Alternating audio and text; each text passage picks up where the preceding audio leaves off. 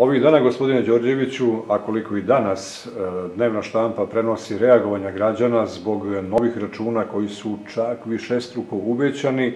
Evo da čujemo kakve situacije u Pirotu. Da li ima primetbi, pored onih redovnih koje često dolaze kada se da. interveniše zbog, naravno, grešaka koje su uvek moguće? Pa, za sada još uvek nekih e, primetbi u većem broju, ja nemam informaciju da ih ima, što ne znači da neće biti, a još uvek se računi ispostavljaju. Međutim, prema informaciji, e, u odnosu na prošlu godinu,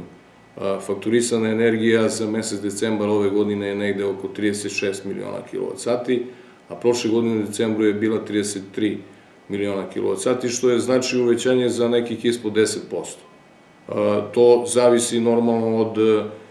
potrošača do potrošača, od kupca do kupca, oni će vidjeti u svojim računima, ali prema ovim informacijama znači ništa nije enormno visoko i ne bi smelo da se desi da je bilo ko od kupaca dobio, ne znam, nekoliko puta uvećane račune.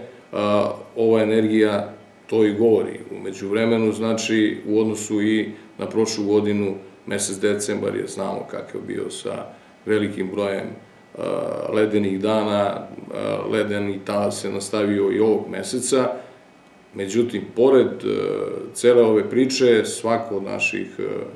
klijenata, kupaca, koji ima bilo kakvu primetbu, može slobodno da na šalterima elektrodistribucije uloži primetbu, ona će se normalno razmotriti ukoliko ima osnova, bit će uvažena normalno. Svih ovih godina i meseci se radi na, tako nečem, e,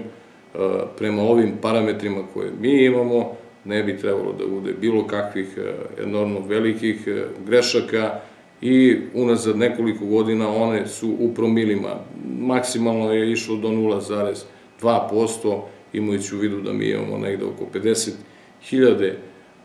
brojila kupaca na teritoriji ovaj, ogranka Pirot koji pokriva četiri opštine, otprilike to na godišnjem nivou negde maksimalno hiljadu takvih zahteva, uključujući e, bilo kakvu vrstu primetbi. Tako da to za sada ne bi trebalo da bude bilo kakvih problema. Sve ove ovaj, zahteve naše kolege iz tehničkog centra će razmotriti, sagledati zajedno sa nama i apsolutno ne očekujemo bilo kakav problem.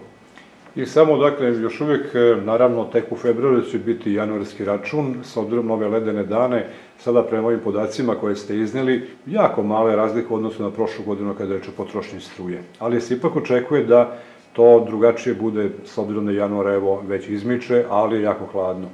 Jeste, apsolutno je logično, imajući u vidu da posle toliko godina, ova godina je stvarno, odnosno ova zima, je nezapančeno, čini mi se, unazad više godina i to su periodi sa jako niskim temperaturama, svi naši korisnici koji se greju na električnu energiju, a ne samo na nju, imaju ovaj podatak o tome da su im računi uvećani za bilo za struju i za grejanje na neki način, tako da će verovatno i mesec januar, koji je evo na, na izmaku biti sličan kao i mesec decembar, a ono o čemu mi pričamo, znači jako lako se ustanovljava, brojila su